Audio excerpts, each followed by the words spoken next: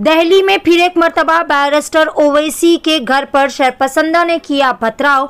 नामालूम बदमाशों ने all India मजलिस मुस्लिमीन के सरबरा बैरिस्टर असदुद्दीन ओवैसी की कौमी दारुल हुकूमत दिल्ली में वाक़ रिहाइशगाह पर पहुंचकर मुबैना तौर पर घर पर पथराव किया, जिससे इनके घर की खिड़कियों को नुकसान पहुँचा है। वाक़े के बाद मजलिस मुस्लिमीन के सरबरा ने पुलिस से रुजू किया और शिकायत दर्ज करवाई। अपनी शिकायत में बैरिस्टर ओवैसी ने इल्ज़ाम लगाया कि इनकी दहली की रिहाइशगाह पर चंद नामालूम शरपसंद अफराद ने पथराव किया है। यह वाक़ जो कि बतारीख 19 फरवरी बरोज़ इतवार की शाम पाँच बजकर तीस मिनट के करीब अशोका रोड इलाके में मजलिस मुस्लिमीन के सरबरा दहली रिहाइशगाह पर पेश आया है। इतला के बाद एक एडिशनल डीसीपी की क़्यादत में दहली पुलिस की एक टीम ने इनकी रिहाइशगाह का दौरा किया और मौके से शवाहद इकट्ठा कर रहे हैं।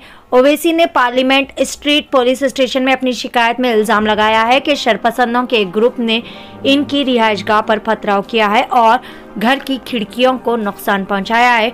मजीद इन्होंने कहा कि वो रात तकरीबन ग्यारह बजकर तीस मिनट पर अपनी रिहाइशगाह पहुँचे, तब वापस आने पर इन्होंने देखा कि खिड़कियों के शीशे टूटे हुए हैं और इर्द गिर्द पथराव देखे जा रहे हैं। इन्होंने फौरी तौर पर इस बात की तफ्तीश की, तब पता चला कि शाम पाँच बजकर तीस मिनट के करीब शरपसंदों के एक ग्रुप ने इनकी रिहाइश गाह पर पथराव किया। इनके घरेलू मुलाजिम ने इस बात की इन्हें इतला दी। मजलिस मुस्लिम सरबरा ने यह भी कहा कि इनकी रिहाइश गाह पर यह चौथा हमला है और कहा कि इनके घर के पास कई सारे सीसीटीवी कैमराज भी है, जिससे मुलजिमान तक आसानी से रसाई हो सकती है और मुजरिमान की फौरी तौर पर गिरफ्तारी का बैरिस्टर ओवैसी ने किया मुतालबा।